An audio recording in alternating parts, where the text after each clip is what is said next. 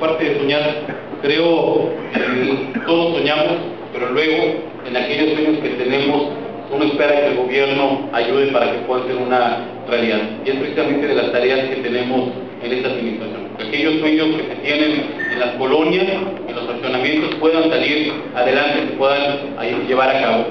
Y muchas veces esos sueños se traducen en muchas formas, se traducen en los servicios, como lo decía ahorita Luis Vargas, hablamos luego del agua, del drenaje, del alumbrado, de las calles, de los baches, que luego a veces es más bache que calle, en fin, de todos esos temas que tenemos que atender. me da gusto que el día de hoy también están aquí acompañándonos entre ustedes diversos directores de servicios públicos, alumbrado, parques y jardines, el de la Junta eh, de Agua, varios más, para que, para que de mañana se puedan atender las necesidades que hoy demandan. Porque no se trata solo de firmar un convenio,